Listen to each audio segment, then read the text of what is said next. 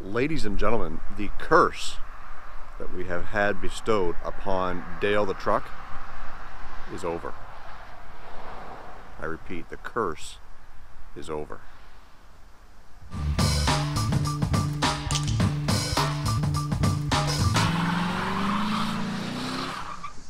You see, I've never claimed to be that bright. I've always said that I'm not a professional, and sometimes I overlook the obvious trying to find the worst. Case in point, Dale the truck has been giving us issues we thought was carburetor related. Now, not that I don't have faith in the Edelbrock carburetor, because I've been using it for years, and so has my dad, but it's an older carburetor. It's 12 years old. It's only been torn apart once to be cleaned. And we were trying to find out what was wrong with the bad idle or the erratic idle, which was intermittent, mind you, on Dale trucks. So what we did was we rebuilt a Quadrajet carburetor, and I will put that video link right here.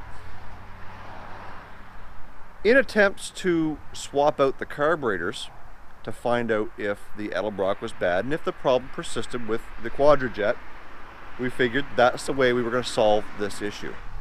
Well, as you can see, the Quadrajet is still in the box on the floor of the truck. And the Edelbrock is still on the engine. So let's take a minute and show you the problems that we were experiencing. That way you know exactly what I'm talking about.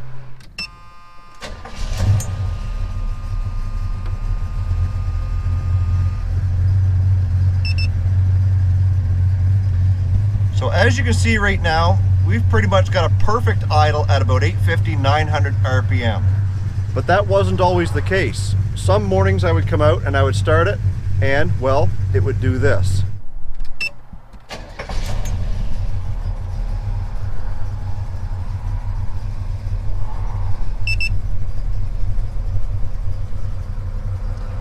And it would idle around 600. And when I pulled up to a stop sign or go through a drive-through, it would sit and chug and choke and feel like it was almost gonna stall.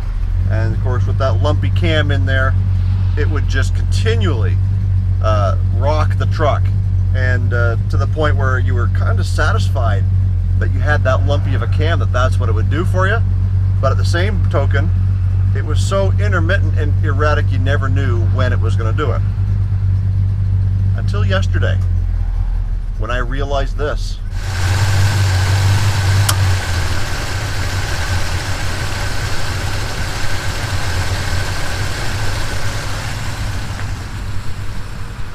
That every time the AC engaged, the clutch engaged, well, it was drawing so much out of that engine that it was idling it down by about 300 RPM. Now, I'm not stupid that far that I don't think that the AC is going to draw on the engine.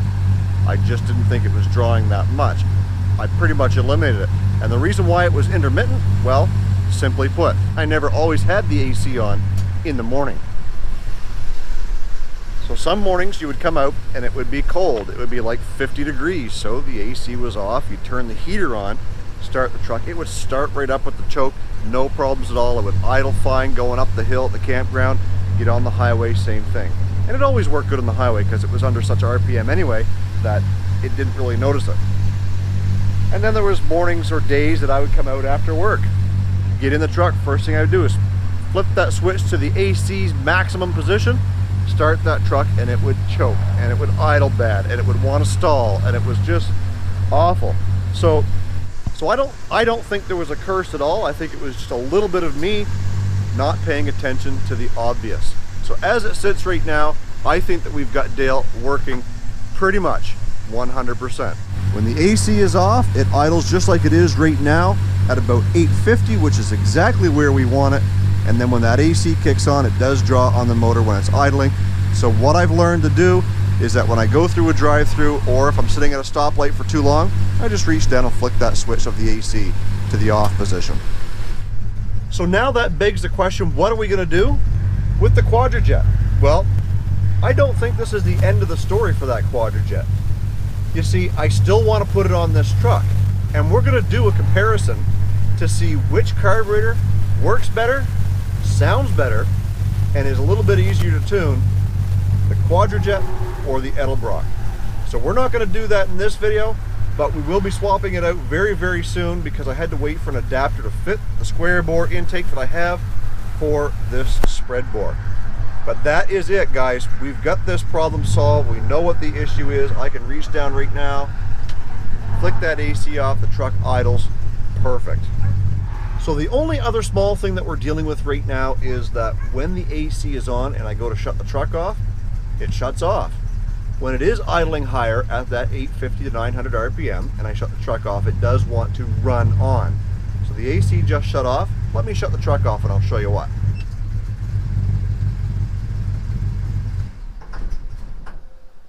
See, it is running on just a little bit and sometimes it runs longer than others.